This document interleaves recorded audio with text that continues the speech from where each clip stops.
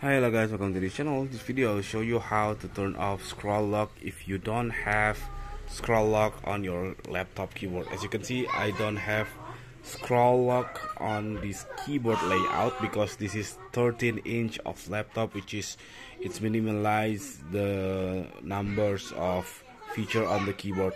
Now how to turn it on or turn off the scroll lock? What you can do you just open your laptop and then find the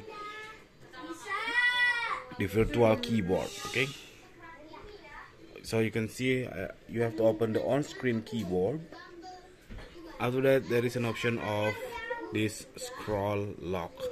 So I can turn it on or turn it off because my laptop is uh, a touch screen so I can turn it on or turn it off using my finger. And then that's it this very simple tutorial how to turn off your scroll lock even if you don't have scroll lock on the, your on the laptop keyboard. Thank you for watching